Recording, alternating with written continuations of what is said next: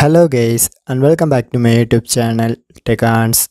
So today I will show you how to change your Xbox account email by using your PC and this method almost works for all Windows and Mac versions because here I show the steps by using the Xbox official webpage. So anyway let's go to our tutorial. So first of all click to access this Xbox official webpage and don't forget to log in your account details.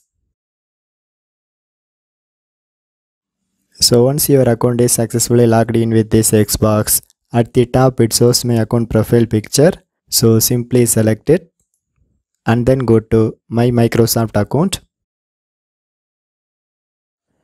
So here it shows my subscriptions and payment details but you can press this more actions arrow mark and it is placed followed by your profile name and then select edit profile so now it shows my personal informations. So here you can press this manage how you sign into microsoft link. But sometimes they verify your account details by sending the verification code to your registered mobile number or email address. So you can complete these steps. So once you complete this step the new web page is opening.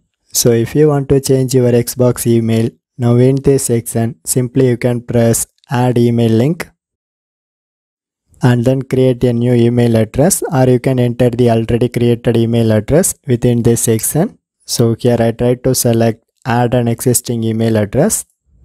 So once you enter it, finally you can click to add alias option. So finally you can see now my new email address is successfully linked with this Xbox account. So if you want to change your Xbox account old email into new email, first of all delete your old email address. So once you delete the old email address and then set new email address to primary email address. So once you follow this step, your Xbox account email is successfully changed to new one. So for more tech videos, you can subscribe my beautiful tech channel, Teconz and thanks for watching.